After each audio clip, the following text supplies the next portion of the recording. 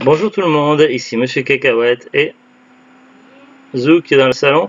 Euh, donc elle est un petit peu occupée là, euh, elle fait euh, l'inventaire des DVD que mon père nous, a offert, tout ça, elle note, parce que c'est vrai que sur les CD c'est pas toujours marqué les titres. donc aujourd'hui nous sommes vendredi 24 juillet 2020, il est 13h08, et oui, encore une vidéo. je sais pas pourquoi, mais aujourd'hui j'ai d'un coup plein de vidéos à faire, donc... J'espère que ça vous ennuie pas trop. Euh, un petit colis qui est arrivé euh, tout à l'heure, donc Zouglut est allé chercher, donc je l'ai pas encore ouvert. Euh, voilà, le colis est comme ceci. Alors euh, au dos, donc évidemment il y a l'adresse d'expéditeur, donc je ne vais pas vous montrer le jeu du carton. Il y avait également une petite étiquette pas très intéressante devant, ce qui, qui gâchait un peu Limited Run, donc je viens d'enlever à l'instant. Et je vais ouvrir tout de suite la boîte. Alors, mais qu'est-ce qu'il y a dans cette boîte? C'est le mystère. Donc moi je sais évidemment ce que c'est, puisque c'est une commande qui a été faite il y a à peu près deux mois, je ne sais plus exactement. Euh, et donc j'attendais avec impatience. C'était un colis qui avait été envoyé par Limited Run euh, donc des États-Unis le 2 juillet. Nous sommes le 24 juillet, donc et ça a mis en tout 22 jours pour arriver en France, pour arriver à la maison en tout cas.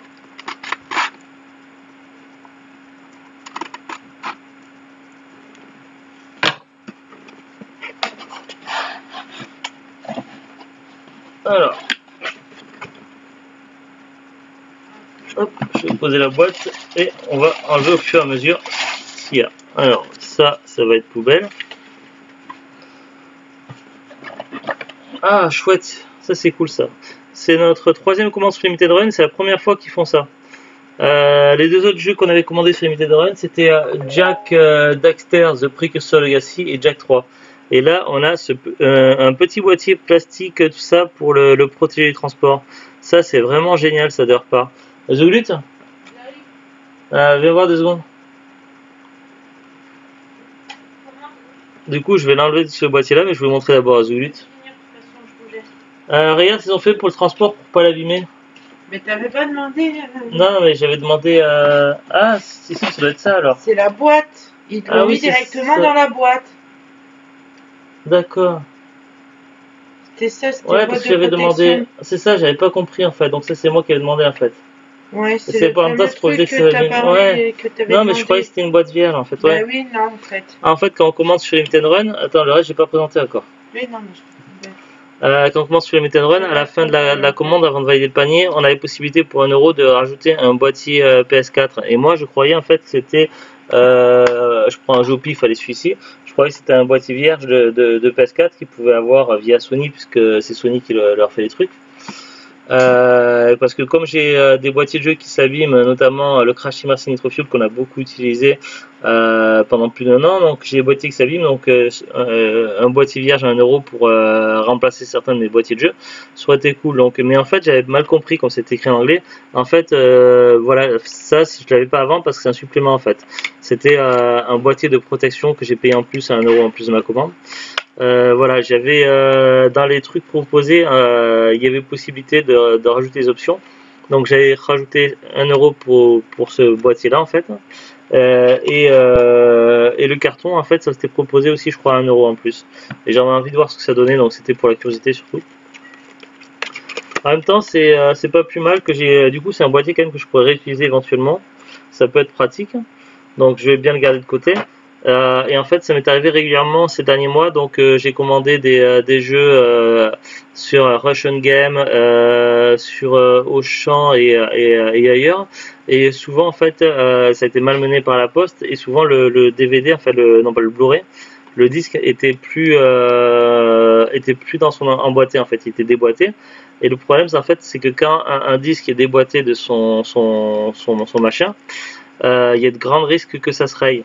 J'avais par exemple acheté à cash un DVD neuf sous blister euh, que je cherchais, donc j'étais content. Et puis euh, le problème c'est que ça bougeait à l'intérieur déjà.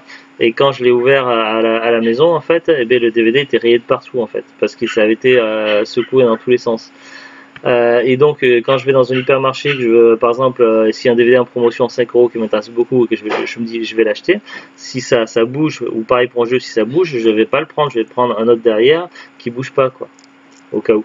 Donc on va déblister tout de suite. Déjà voir, il y a, deux trucs avec. Je vais d'abord sortir le reste. Euh, alors, il y a la fameuse petite carte qui a toujours avec des trucs limited run. Alors, euh, j'ai des jeux limited run où il n'y a pas cette carte-là. Euh, un seul, c'est le Pang. J'avais acheté un neuf sous blister sur internet, mais le vendeur m'a pas donné la carte qui correspondait à Pang. Donc ça, c'est dommage. Donc voilà, c'est la petite carte brillante. Ouais, le brille. La numéro 59, Street of Rage 4. Avec les personnages, ça, donc la petite carte qui est toujours avec Limited Run, ça c'est cool. Je vais me mettre là, je l'arrangerai après.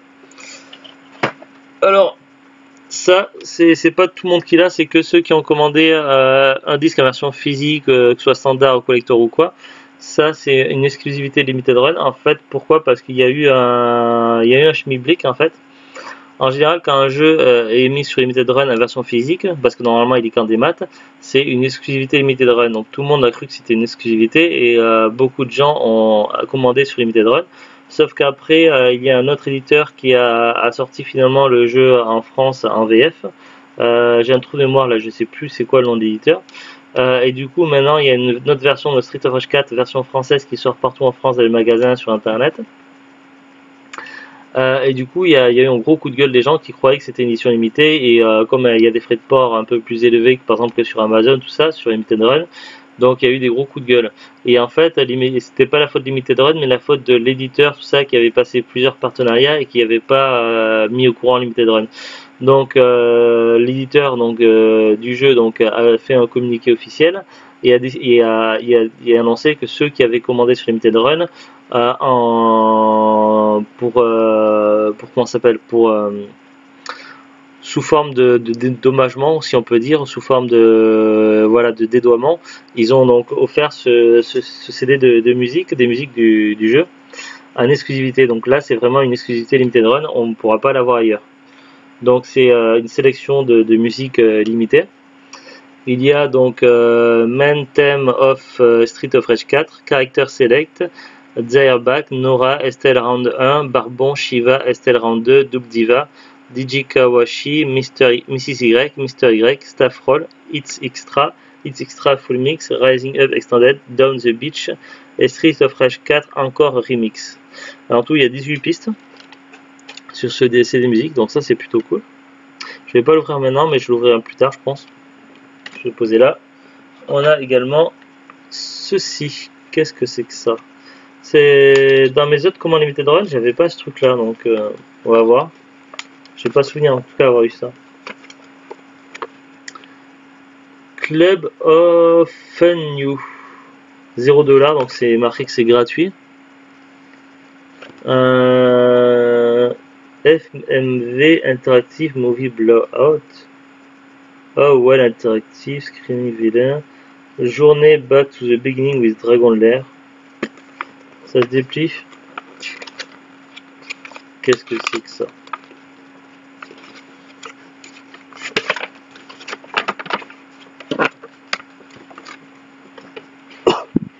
Ah, c'est peut-être des. Un line-up. Ah, c'est la collection de tous les jeux en, style FMV euh, qui sont sortis sur euh, Limited Run. Il y en a un que j'ai raté qui m'aurait beaucoup intéressé, c'était le Night Trap. Dragon Slayer, euh, j'ai jamais joué à, Dragon Slayer, mais j'ai joué à un jeu qui ressemblait beaucoup, c'était Branded 13 que j'avais sur, PC et euh, franchement c'était un cauchemar. Les, les QTE dessus c'était euh, l'enfer. Mais par contre ce qui était drôle c'était les animations. On mourait de mille et une façons, c'était vraiment très drôle. Le brand d'être 13 sur PC. Que je puisse y rejouer euh, plus tard et faire des vidéos. Donc voilà, on a une espèce de poster de collection de, jeux en FMV. Derrière, donc on a du texte, donc il y a beaucoup de choses, des interviews, des trucs comme ça. Alors je vais essayer de replier ça proprement si j'y arrive. Voilà. Et maintenant, on va tout de suite débister Street of Rage 4 et regarder plus en détail. Donc là, c'est la version Limited Run. Ah, il y a une autre version où c'est plutôt jaune, euh, machin, avec plus de couleurs et plus de personnages. Alors on va voir aussi tout de suite s'il y a une euh, jaquette réversible. C'est pas toujours le cas, mais très souvent les, euh, les, les, jeux Limited Run ont une jaquette réversible et parfois la jaquette au dos est plus intéressante, enfin me plaît plus, après c'est une question de goût. Alors en général quand c'est comme ça je regarde et je fais mon choix, je choisis la jaquette qui me plaît le plus. On va vérifier ça tout de suite ensemble. Du coup, comme j'ai testé tous les jeux euh, de la collection Sega Mega Drive classique euh, aujourd'hui, donc j'ai fini, j'ai même fait une vidéo euh, parlant jeux vidéo. Ce qui veut dire que je vais changer de jeu, donc la semaine prochaine, tous les vendredis, je jouerai à Street of Rage 4. Alors ça sera soit en matinée, soit en après-midi, donc je ne sais pas encore, ça sera en fonction de, de, mes disponibilités, mais tous les vendredis, dans la mesure du possible, je jouerai à Street of Rage 4. Et je suis déjà impatient d'être à vendredi prochain. Alors, donc, là, le recto se présente comme ceci. Le verso, alors évidemment, c'est écrit en anglais, puisque c'est la version américaine, Limited Run. Euh, la PS4 est pas zonnée, je précise. 26 euh, ans plus tard, donc là c'est écrit en anglais, je, vais essayer de vous traduire en français. 26 ans plus tard, la légendaire série des Street of Rage revient finalement euh, avec un nouvel épisode euh, avec bon lush, je sais pas ce que ça veut dire, avec euh, des trucs faits à la main, des animations faites à la main, des nouveaux combats, des nouvelles capacités de combat, euh, des, euh, des pistes neuves. Donc là, ça parle de la musique, des, nouvelles pistes euh, qui, qui, proviennent d'une incroyable équipe de compositeurs. Street of Rage 4 est un, un incroyable masterful retourne sur euh, la, la, série, la, classique série d'action que les fans adorent. Après, ils nous disent le, le comeback, euh, le retour de la légendaire euh, série des Street of Rage. Euh, deux online players, donc possible de jouer à deux online ou alors jusqu'à quatre localement, donc en, local. Après, il faut quatre manettes. Bon, ça, ça va, on a quatre manettes. 17 playable caractères, donc 17 joueurs, euh, 17 personnages jouables. Euh, contenant 12 euh, en pixel art euh, avec des, magnifiques animations faites à la main. le gameplay classique est NSA, donc c'est revu, revisité, je pense, avec des nouvelles mécaniques. 12 stages uniques, des nouveaux, des nouveaux modes de jeu. Alors après, c'est marqué 1 à 4, DualShock 4, 2 à 2 Network Player, Online Play optional. Il faut prévoir minimum 5 Go 39. Donc euh, voilà, c'est le limited run à hashtag 332. Donc voilà l'autre côté. Euh, ici, donc pour la PlayStation Limited Run, PlayStation 215, on voit sur la tranche. Sur la tranche, du coup, c'est du rouge. on va voir l'intérieur maintenant. Donc effectivement, je crois qu'il y a une jaquette réversible. Euh, donc il y a un petit livret, tout ça. Alors on va peut-être voir tout de suite la jaquette. En tout cas, le, disque, la sérigraphie du disque est assez belle, je trouve. Du bois. Alors la jaquette. Donc effectivement, on a le choix. Alors je vais fermer le boîtier pour pas l'abîmer et on va regarder tout de suite. Euh, alors, donc ça, c'est la jaquette de base. Et la jaquette alternative, donc c'est l'américain parce que les, Américains ils, disent le nom Bark Knuckles. Ils mettent pas Street of Rage mais Bark Knuckles. Voilà, si je veux, je peux mettre cette jaquette là. Donc en noir et blanc, tout ça. Bah, je crois que je vais garder la première, celle de base. Donc je vais remettre euh, en jaquette de base.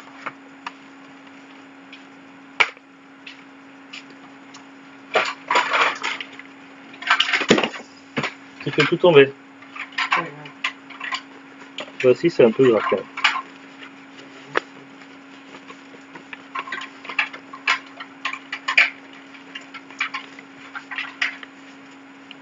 Alors je remets bien tout ça parce que j'aime pas quand une jaquette dépasse de trop sur le haut ou sur le bas, donc c'est chiant après. Mais euh, des fois ces jaquettes sont mal taillées par rapport au boîtier de proposé. Là ça va, ça, ça passe bien, je crois que je l'ai bien remis. Est-ce que je l'ai bien remis? Je pense que oui. Ça n'a pas l'air de dépasser sur les côtés, tout ça.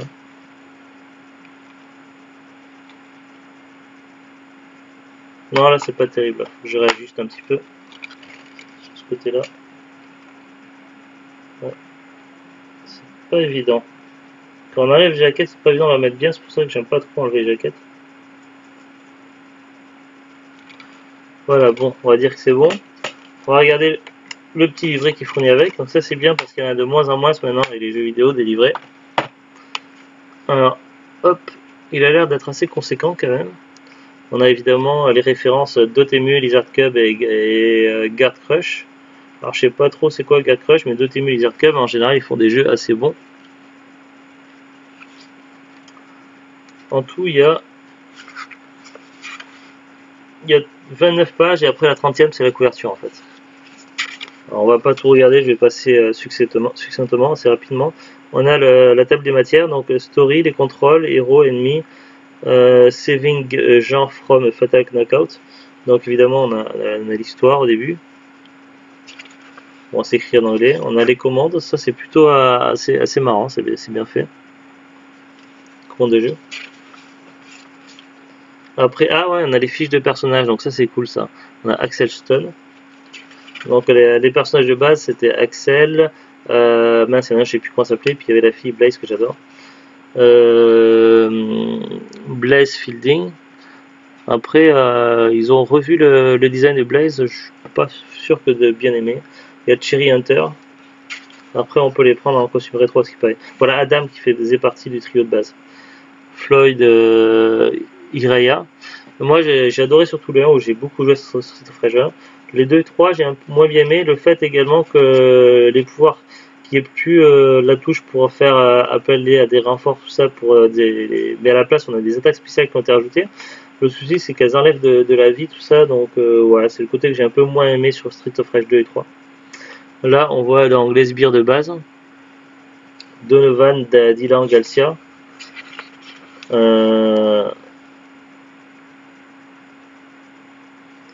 Victoria, Garnett, Y signal, Murphy A, voilà, Y signal. Ceux-là, je les ai appelés quand j'étais gamin les Tortues Ninja. Je sais pas pourquoi, parce qu'ils avaient l'air d'avoir une carapace derrière.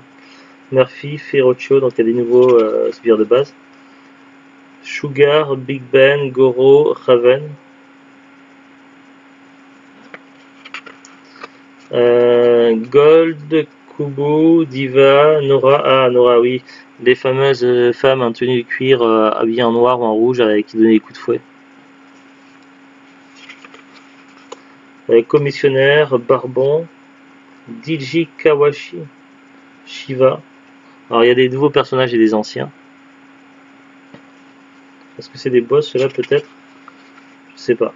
Euh, Max, Excel, Mrs. Y, Mr. Y. Donc ouais, les Y, ça doit être les, boss finales vraiment. Euh, Mrs. Y et Mr. Y.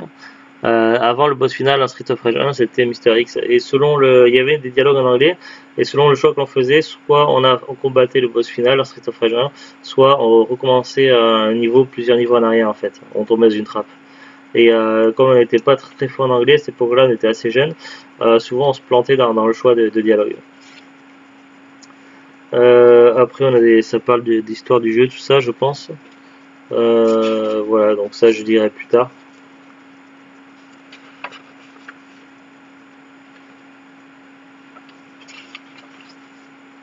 Et ça se termine comme ça, le petit vrai.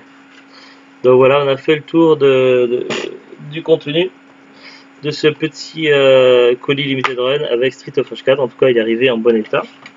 Ça, c'est plutôt cool. Et il est finalement arrivé. Bon, il a mis 22 jours à arriver, mais il est arrivé quand même. Et c'est le principal. Donc voilà. Ah bon, euh, voilà, j'arrive pas à mettre bien. Ça dépasse un tout petit peu en bas au niveau de la jaquette. C'est chiant, mais je pense que même déjà de base, quand on achète des jeux, ça dépasse un petit peu. Donc voilà, c'est toujours le problème quand on arrive une jaquette. Voilà, je suis très content. Euh, allez, à très très bientôt. Au revoir.